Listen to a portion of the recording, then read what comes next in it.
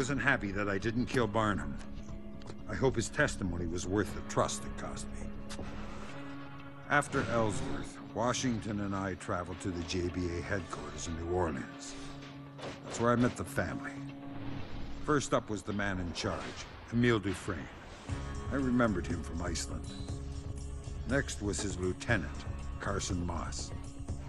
Can't say we hit it off. The person who was going to handle the weapon was Enrica Villablanca. She wasn't much older than my daughter. And finally, there was B.J. Sykes, the techie in charge of their security systems. One man I didn't get to meet was Cole Yeager. It seems Dufresne was afraid Yeager was plotting to take over the JBA. So he sent me on an errand to pump Yeager for information, hoping Yeager might try to get the new recruit on his side. On my way to see Yeager, I had an opportunity to sneak into the compound's restricted area, so I took it.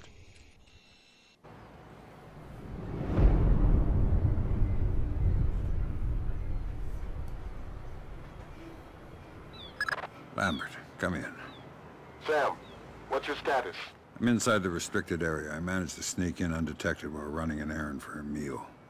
What's new at home? You brought us some goodwill at Ellsworth and kept Barnum alive. Good job. I stashed your equipment already. Did you find it? Yeah, I got it. Wasn't easy to snuggle in, though. So what's the plan? Intel. We set up a surveillance grid on the outside. But JBA's electronic countermeasures are keeping us from hearing anything on the inside. You may have noticed some problems with your equipment as well. We need you to tone the jamming down by reducing its electricity input. Blueprints indicate the compound has been rewired so many times that each area is now regulated by a different fuse box. Find all four boxes and tap into them. There should be one on the roof, one near the entrance, one in the warehouse, and one in the loading bay. Their location is on your minimap. Anything else? Yes. If someone spots you, or if they detect the drop in their grid, the new guy is going to be their first suspect. You can't afford that. While you're there, find ways to prop up your cover and divert suspicion to someone else. Emile is already suspicious of one of his people. Cole Yeager. Hmm, if that's the case, Yeager might be useful to us. Send me any info you find and we'll go from there. Lambert out. Moss is not happy right now. That's alright. Emile isn't happy with Moss. With what happened to Yeager, do you blame him? You know what this means? Moss is gonna be working double hard to make Emile happy. Which means we're gonna be working triple hard to make Moss happy. Good guess.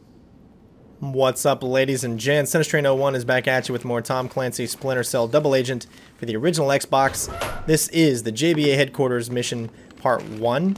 Um, this is, of course, this 100% stealth walkthrough on the expert difficulty. Hopefully you guys are enjoying the walkthrough so far. I know it's been a few weeks since I got to put out the last one, but I'm really trying to kind of just separate these videos so that when Splinter Cell Blacklist comes out, you guys still have some awesome content to see and all that stuff. So hopefully you guys don't mind the wait between videos, but I really want to give you a reason to keep coming back to the channel.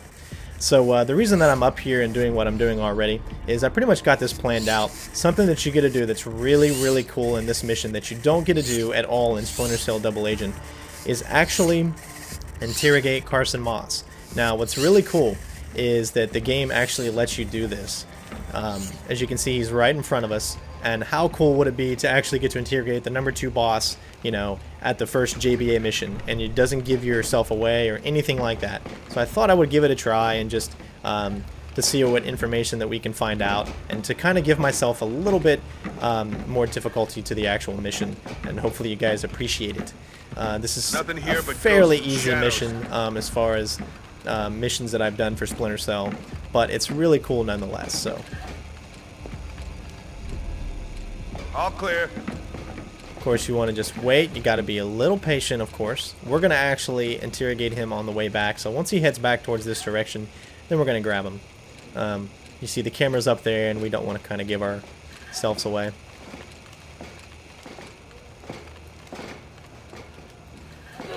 Make sure you don't get too far ahead or else the camera will be able to see you.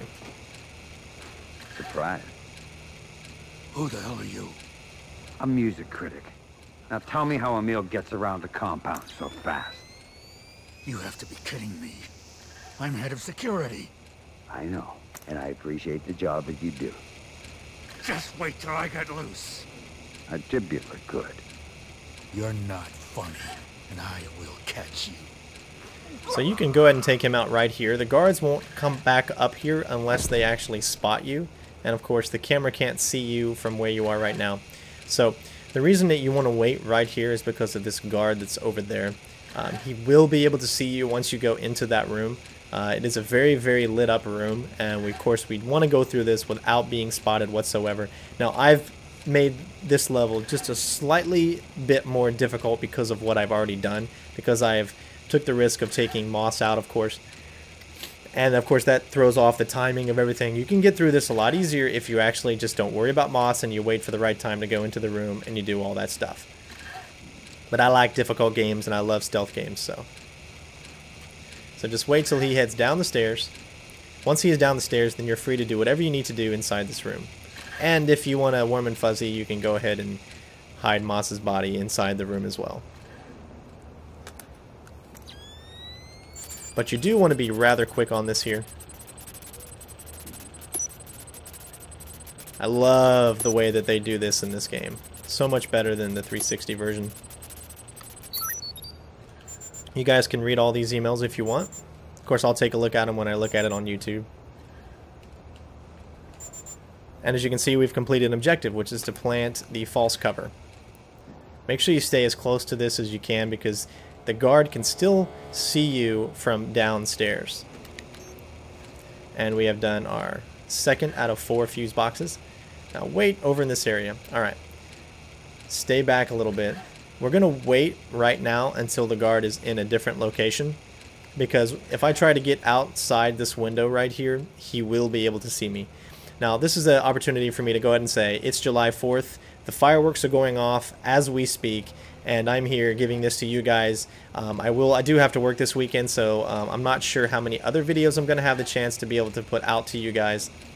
So I wanted to take this opportunity and just say hello and uh, happy 4th of July to all my friends out there. Doesn't matter if you're American or not. Hopefully it's going to be a great weekend for you and hopefully you guys have lots of fun.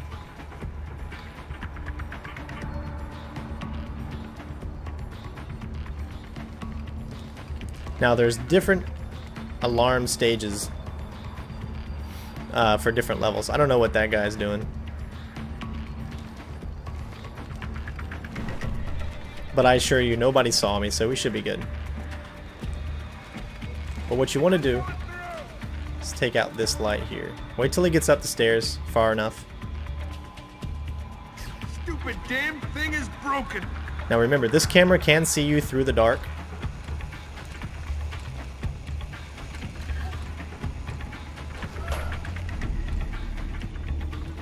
which is why we did it this way. Now as you can see here, the different alarms, if you actually do create alarms, uh, this place gets a little bit harder for you to actually maneuver through. So keep that in mind and try to remain as stealthy as possible.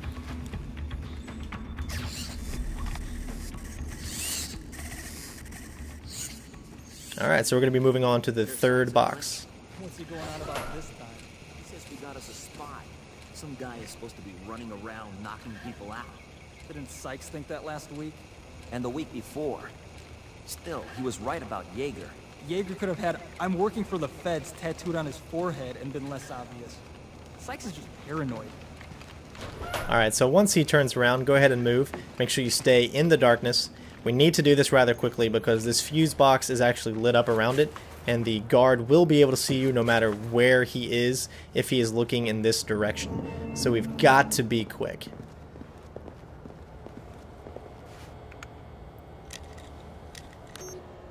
Alright, now hurry up and get back against this wall here. As you can see, he's already looking in this direction now, so you do not have very much time to do that correctly.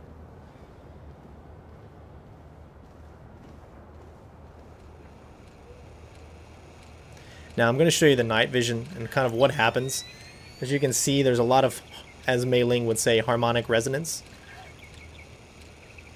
But there is a little ladder here that you can climb up that way you can shimmy along this ledge here. There's a camera below you, so that way the camera can't see you. And as you can see, there's a little thing that we can jump on once we get over in this area. I just want to show you so you guys know the route.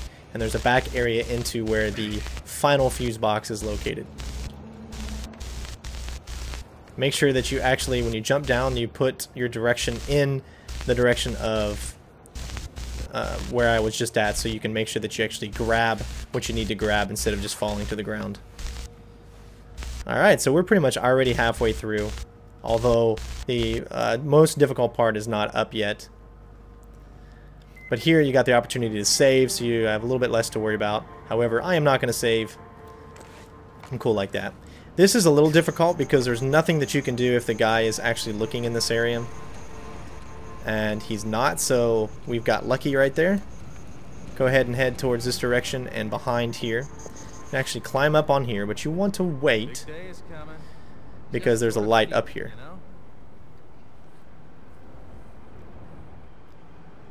We don't want this guy to see us, so make sure that you go at the right time to where he's actually not looking over here. And we can grab this last fuse box, which is actually going to open up another objective for us that we can't do until we have grabbed this last fuse box. And there's no light around it, so you can just go ahead and get up on it. Job's done, Lambert. I got the fuse boxes. Good. On to your next task. Make it quick. I have to get back before they find out I'm here. I know. But this has to be done right. It's too important, Sam. So what's next? Find their server. It's probably on the second floor of the compound. Once you're there, open up a connection to Fort Meade. We'll sift around their system, see if we can find anything. On my way. Alright, you want to go do this really quickly. Because there is another guard that's in this area.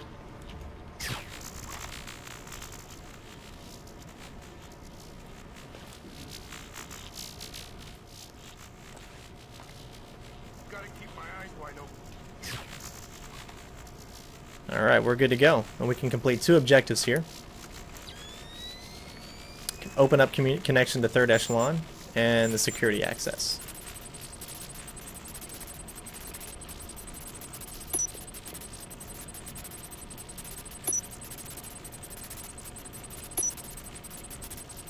Really cool stuff here.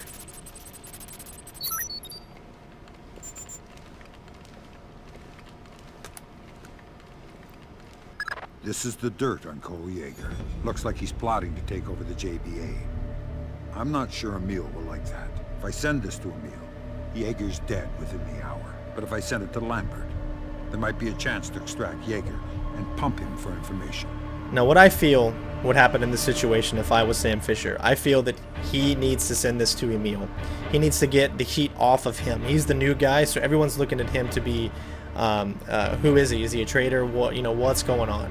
So if we get the uh, attention away from Sam and to this other guy who's actually planning on overthrowing him, um, I feel that is what Sam would do in this situation. So we're going to send to Emile. This is Emile. If anyone sees Cole Yeager, tell him I want him in my office. Now. Now get back to the public area before your absence is noted.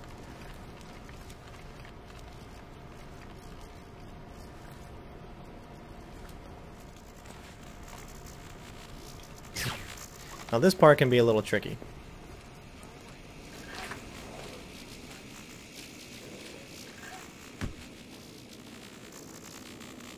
Now go ahead and get against this corner here because there is a guard that comes up and down this hallway as you've already seen and of course we don't want to alert him. He will come over in this area so once he gets over here just head a little bit further back and you should be fine.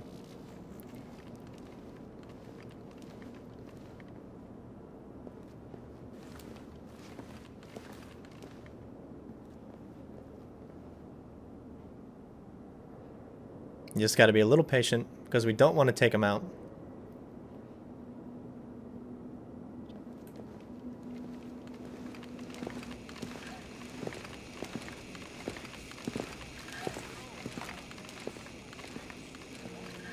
Damn it! What's wrong with this?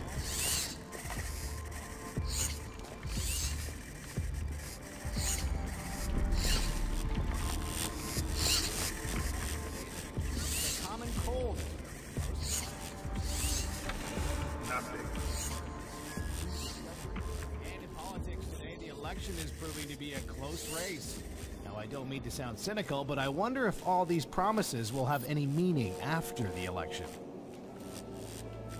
This is actually a secondary thing that you can do. It's not even a part of the mission, uh, you can grab Emile's fingerprints here. That covers Emile nicely. Now, however, you do need to grab Enrica's fingerprints, which is in the uh, the next section up ahead.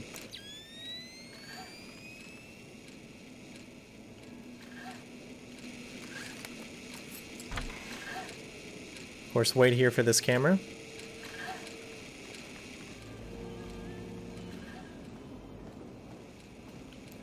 Now, I recommend not shutting that door only because if you do shut the door, it can create a little bit of noise for that guy to turn around and see you. Go ahead and grab some emails here. Now, there was some emails in the other room where that guy was, but there was nothing that was important enough that you needed to get. You got what you needed, and uh, we're going to do the same thing here.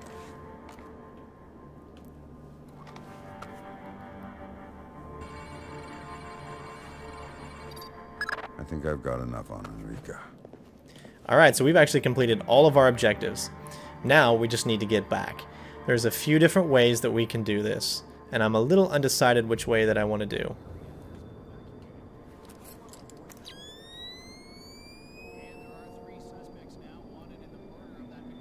I don't hear any footsteps, so we're going to take the more difficult route.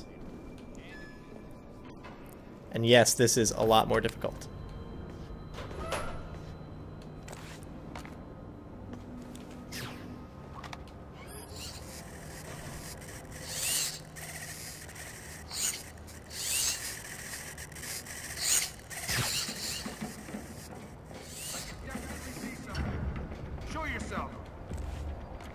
Worry, he doesn't see anything, but you gotta be quick.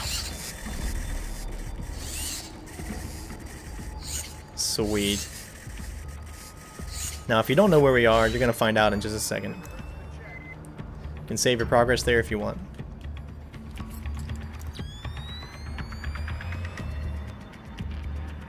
You gotta be quick here because sometimes there's a guy and sometimes there's not.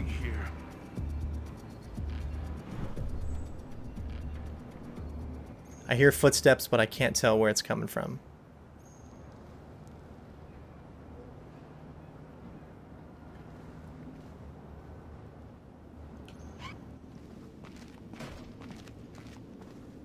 All right.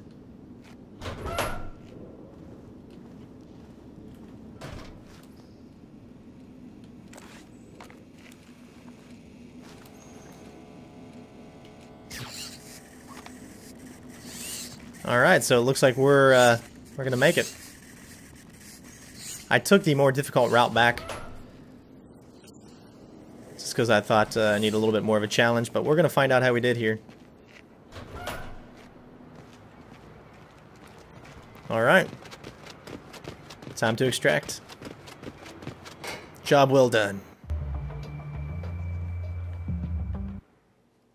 All right, so let's see how we did completed all the echelon objectives. Uh, the only one that was canceled was the send info to Lambert because we chose the JBA. Uh, opportunity objectives, we scanned Enrica's fingerprints. As you can see, it did not say that we needed to scan Emile's, but we did that extra so as uh, we don't have to do it later. Um, and of course, we planted false information on Carson. And as you can see, we did this 100% stealthy. Um, the only enemy that we actually knocked out was Carson, of course, and the only reason we did that was just because we could, and I wanted the opportunity to do so. Now, also, as you can see, our trust meter is all the way up there still, very confident with the NSA, and that's usually around where I want to be. So there's going to be some things that I'll do for the NSA, and there's going to be some that I'll do for the JBA, but uh, hopefully you guys enjoyed that. Again, don't forget to comment, rate, subscribe. Um, if there's anything that I could have done better, please uh, let me know, because I really do appreciate everything that you guys um, help me out with. And for those of you that are still watching, I want to go ahead and put out um, uh, Illuminators, of course, for uh, making the intro for me, and also don't forget um, Dynamic Gamer 87. Again, the, the, descriptions under the video will actually have their channels. Check them out. Uh, subscribe to them. Really want to uh, thank for all what they have done for me, and it's it's it's so cool to have great uh, fans and subscribers out there. I think we're all just a part of a community, and we're all friends. And uh, I would like to thank all of you for watching all of my videos, and hopefully you enjoy them. And again, thanks a lot, and we will see you next time. Peace out, bitches.